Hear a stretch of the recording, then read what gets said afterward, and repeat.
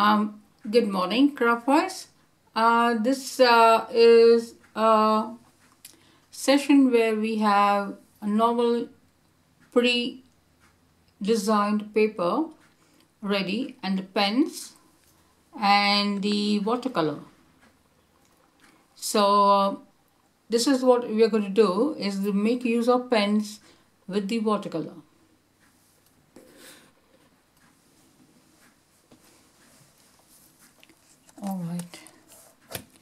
Now we have to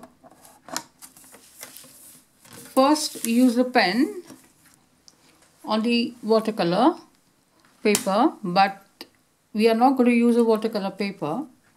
We just going to use the normal sketch designed and this is how we'll go. Okay now I'll just show you a part of it and then you have to finish off the rest. But if time remains then we'll be together. Otherwise I'll show you this uh, design which is created and painted and there it is mandala. So um, we'll start now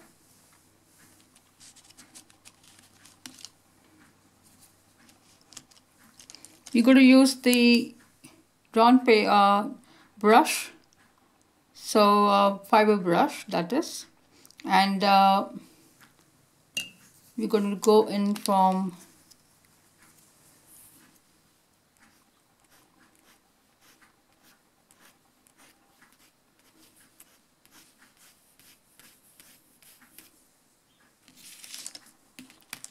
okay